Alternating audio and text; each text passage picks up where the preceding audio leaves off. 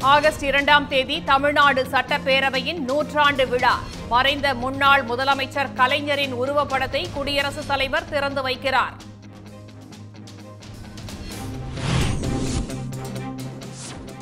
Tokyo Olympics பளு தூக்குதல் போட்டியில் இந்தியாவுக்கு முதல் பதக்கம். மகளிருக்கான நாற்பத்தி ஒன்பது கிலோ எடைப்பிரிவில் வெள்ளிப் பதக்கம் வென்றார் மீராபாய் சானு.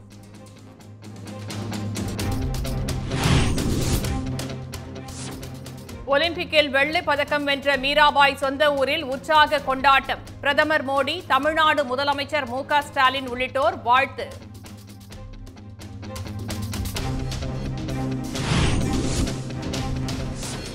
டேபிள் டென்னிஸ் போட்டியில் இந்தியாவின் சுதிர்தா முகர்ஜி அடுத்த சுற்றுக்கு முன்னேறினார். மகளிர் ஒற்றையர் பிரிவில் இந்திய வீராங்கனை மணிகா பத்ராவும் முதல் சுற்றில் வெற்றி.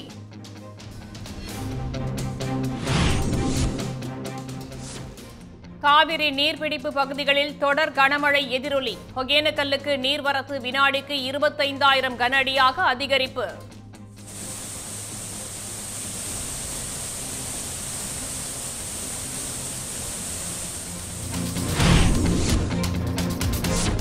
நீலகிரி மாவட்டத்தில் பெய்த கனமழையால் ஆறுகளில் வெள்ளப்பெருக்கு. பவானி ஆற்றில் ஏற்பட்ட வெள்ளப்பெருக்கால் மூன்று கிராமங்கள் பாதிப்பு.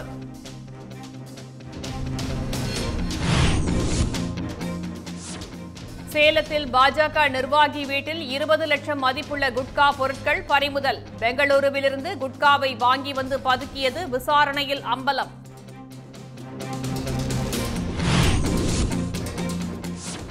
ஆபாச பட தயாரிப்பு குறித்து நடிகை ஷில்பா ஷெட்டி பரபரப்பு வாக்குமூலம். ஆபாச செயலியை கணவரின் உறவினர் நிர்வகித்ததாக ஒப்புதல்.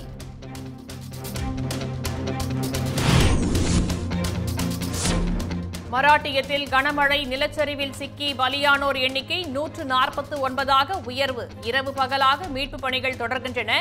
நிலச்சரிவு ஏற்பட்ட பகுதிகளில் முதலமைச்சர் உத்தவ் தாக்கரே ஆய்வு. உடனுக்குடன் செய்திகளை தெரிந்து கொள்ள சன் நியூஸ் பெல் ஐகானை கிளிக் பண்ணுங்க.